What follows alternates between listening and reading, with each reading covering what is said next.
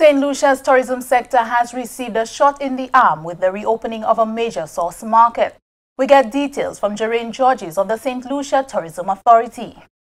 The government of St. Lucia noting the tourism sector's integral role in national and socio-economic development of the country will be ensuring that the instructional arrangements surrounding tourism development are revised to address the various challenges facing the industry. Minister for Tourism Investment, Creative Industries, Culture and Information, Honorable Dr. Ernest Hilaire, at a recently held meeting of the Tourism Advisory Committee, highlighted his vision for St. Lucia's tourism sector. The minister explained that efforts to improve tourism governance must recognize tourism as a composite sector to which many other sectors contribute.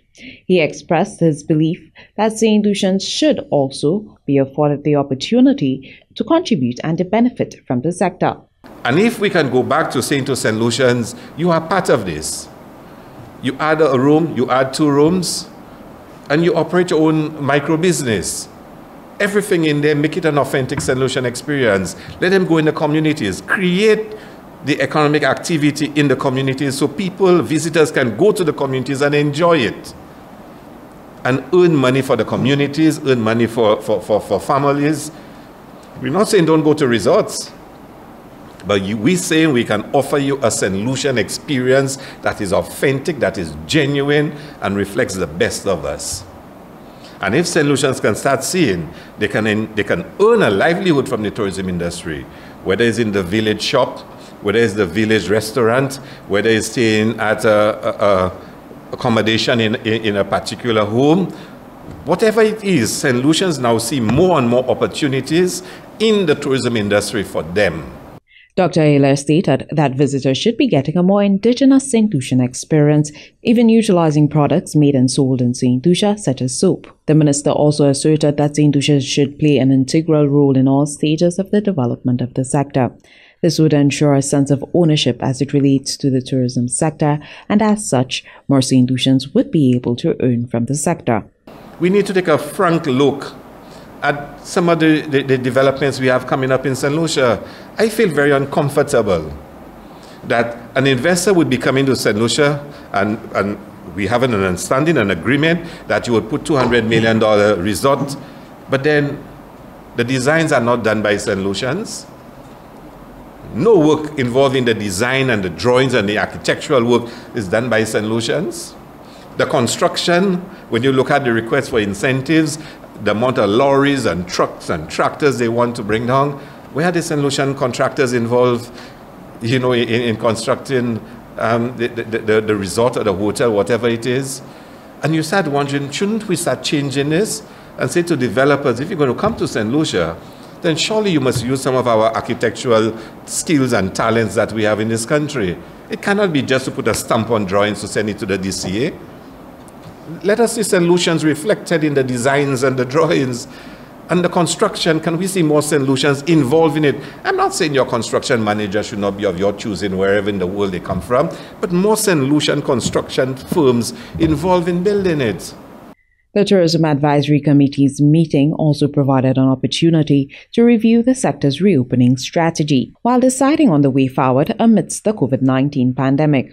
Chief Medical Officer Dr. Sharon Belmar-George explained that the review encompasses protocols and measures put in place to facilitate the reopening of the sector as well as what obtained in other sectors, noted breaches, current active cases on the island, and the risk associated with the reopening of the sector, to name a few.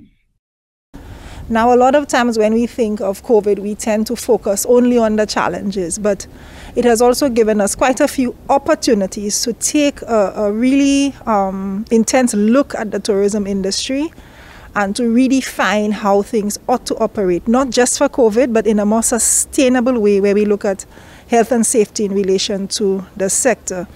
So, a lot of our reviews, we're looking at sustainable measures, the challenges that we've, we've, we've faced, the risks that we note with the sector because we've had an opportunity to look a lot closer at the industry and also, more importantly, making recommendations that are sustainable not only for the COVID um, environment now, but longer term. So, a lot of the recommendations we look at how we minimize the risk that the tourism sector can um, provide. And also, the other issue that we are going to look at is moving forward. How do we continue developing the sector, keeping in mind um, health and safety as a very, very important aspect of, of the sector? Chairman of the St. Lucia Tourism Authority, Thaddeus Antoine, explained that many factors must be taken into consideration when deciding the way forward for St. Lucia's tourism sector. The Tourism Advisory Committee essentially is a committee um, is, is, is, is a ministry base, so it's a policy based um, institution to help advise from the ministry point of view, also the minister's point of view, and to engage stakeholders to develop a plan of action as to how we move forward the tourism industry, not just during COVID, but for tourism on the whole. All right. So, how is this? Uh, if this committee is going to face the daunting um, um, task ahead as far as the COVID uh, scenario is concerned. We know it's uh, two years uh, ongoing.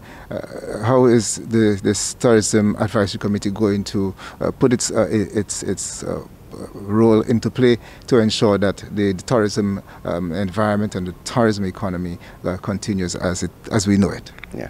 As you've heard from the minister earlier on, it's about uh, balancing um, livelihoods and also balancing lives. So while the, the Tourism Advisory Committee looks at more of the future planning of the tourism industry, it's also taking consideration now, what's happening now. And in doing so, it, it works with the Ministry of Health in deciding what best protocols we put in place, what best um, advice we give the, our resorts, our alternative accommodation, in inviting tourists to our island, and in helping um, the staff of those, those institutions to stay employed. But it's, it's, it's about just setting up a plan, a plan forward for the tourism industry, for now and also for the future. The 17 member committee will also be revising several legislation so as to ensure all are able to benefit from incentives and other initiatives within the sector. From the Government Information Service, Hilmadi Mark reporting.